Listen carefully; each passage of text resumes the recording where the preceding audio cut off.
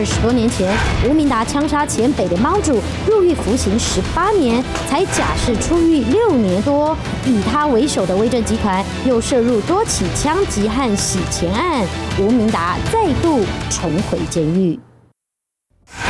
穿上爱心协会背心，他是威震爱心协会的创办人吴明达。枪杀前北联帮主唐崇生，几年前假释出狱之后，脸书抛出许多响应公益、做爱心的照片。可能了，我在想他有心哦，想要洗白啊，有心想要哦，这个就是回归到正常的生活，从事一些公益事业啊等等。不过警方近期查出他又涉嫌不法。来，站住，站住，趴着趴着，来趴下。警方荷枪实弹围捕多名歹徒，其中吴明达站在一旁，态度从容。警方查出他是二零二二年四月份万华枪击案的幕后主使者。警方指出，他与万华青山公主委兼在地黑帮团体方明馆领袖黄金元疑似有千万金钱纠纷。今年二月就曾花五百万买凶用杀黄金元，当时枪手反悔落跑。吴明达没有罢手，又再派小弟去开七枪警告。警方大动作，各地收网，以杀人、恐吓等罪将吴明达等人送办。尽管他坚称没有涉案，百万交保，但几个月之后，吴明达又登上了社会新闻。哎，挡住，挡住，后退，大哥好。警方冲上前逮人，红衣男子就是吴明达，一副无所谓的样子，站到墙边，双手一摊。警方查出吴明达涉嫌网络赌博跟洗钱罪，把人带回送办。法院认定他有逃亡、串供、灭证之余，裁定羁押禁见。要说一下你现在的感想，你觉得判十九年这个刑罚？二十多年前，吴明达枪杀前北的帮主，入狱服刑十八年，才假释出狱六年多。以他为首的威震集团又涉入多起枪击和洗钱案，吴明达再度重回监狱。换车、带钱、做好逃亡、长期抗争准备，吴明达最终还是被警方给拦截了。纯粹是意外碰到的。崇哥他要不先拔手手枪要要射我射向我射击的话，我觉得我绝对不会这样子。当初我还尊称他一声崇哥，你要去哪里？想不到他会居然这样对我，所以我也不知道，如果换成是你们的话，你们你们要怎么办呢？他说了，在当时呢，他只是拍拍他说崇哥，然后呢，唐崇生一看，因为他们一定之前有一些纠葛了，因为债务的问题有纠葛，他一看说你怎么还在这，就马上拔枪，所以最后有目击者看到两个都拔枪对峙，只是唐崇生的枪没有上膛，那吴明达的可能手脚比较快。然而，对于动机，检警认定跟债务纠纷脱不了关系。因为他有个习惯，他可能有用了一些不好的东西，所以他常常每天要去药局干嘛？打算精，打那个打到血液里面。那他的这是他固定的行程，所以这个我们哪知道他这条他这个路线去找他。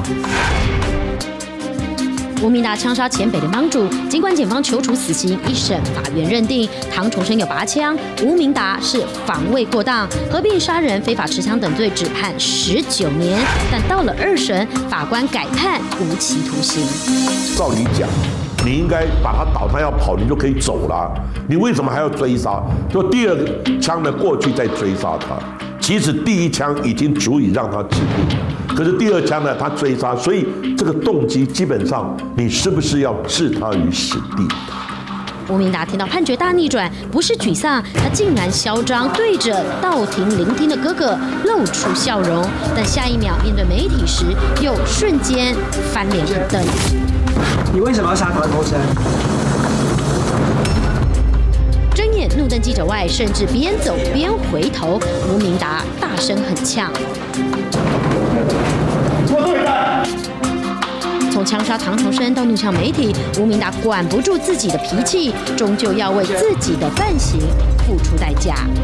跟一审又改成十五年，可是最后的定案就是无期徒刑。唐崇生的告别式，五湖四海江湖弟兄来了不少人，但唯独没有看见他。参与唐崇生公祭人数估计超过上千人，不过与唐崇生青梅竹马的艺人吴卫忠并没有出现在公祭现场。吴卫忠第一个第一第一个时间知道的时候，他一定是非常心痛，非常非常难过，因为毕竟是一个自己曾经挚爱的人，这样的方式而离开人世间，江湖事后来变成江湖了这样子，他他当然会非常非常难过，非常呃没有没有办法去承受，会觉得很遗憾这样子，一直等，一直等，一直等。到最后，小慧就是始终就是没有出现，所以也就是说，其实小慧在她去了香港，哦，这样子转折转折转折多年之后，其实小慧真的是已经把唐崇生真的把他放下了，他已经不再去眷恋，没能等到挚爱胡慧中来送最后一程，被枪杀时身边一个小弟也没有，人生黯然谢幕。